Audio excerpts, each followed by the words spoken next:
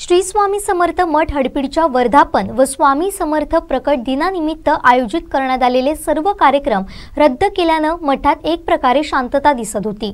शासनाच्या आदेशाचं पालन करत कार्यक्रम रद्द करून फक्त स्वामींची विधिवत पूजा करून प्रकट दिन सोहळा साजरा करण्यात आला. माझ्या मागे पाहू शकता मी आज इथे उभा आहे तो स्वामी श्री स्वामी समर्थ मठ हडपीड येथे.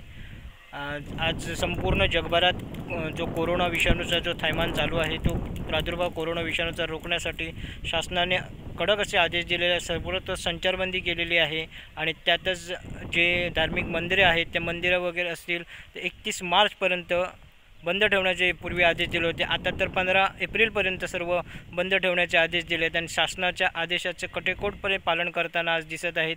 शासनाच्या आदेशानंतर हे मंदिरात बंद आहे. तेवीस मार्च ते सव्वीस मार्च या कालावधीत स्वामी समर्थ प्रकट दिनानिमित्त विविध कार्यक्रमांचे आयोजन या मठात करण्यात आले होते. या अशा प्रकारे हे म म कार्यक्रमासाठी कार्यक्रमाची आखणी करण्याचा मंडप वगैरे उभारण्यात आला होता. मात्र शासनाचा आदेश आल्यानंतर सर्वच हे कार्यक्रम रद्द करण्यात आले. त्यामुळे कुठेतरी आज या संपूर्ण परिसरात शुकशुकाट दिसत आहे. एक पाच दिवसाचे बरे म म- भक्कम कार्यक्रम असणार. होते श्रीधर फडकेंचं गायन होतं त्यात रक्तदान शिबिर होतं प्रकट दिनानिमित्त विविध कार्यक्रम होते. त्यात आज एक वर्ष या मठाला पूर्ण होत आले.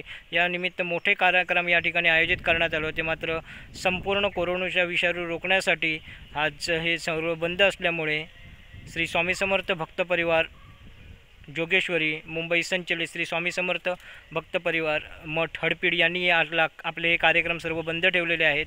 आणि सर्व सर्वांनी एकच सांगणं झालेलं आहे. स्वामी हे जगावर आलेले जे साकडे आहेत जगावर जे आलेले हे संकट आहे ते दूर कर अशा प्र अशा पद्धतीचे साकडे आज स्वामी समर्थांकडे या मंडळाने घातलेले दिसत आहेत. सं सिंधुदुर्ग लाईव्हसाठी स्वप्नील लोके देवगड.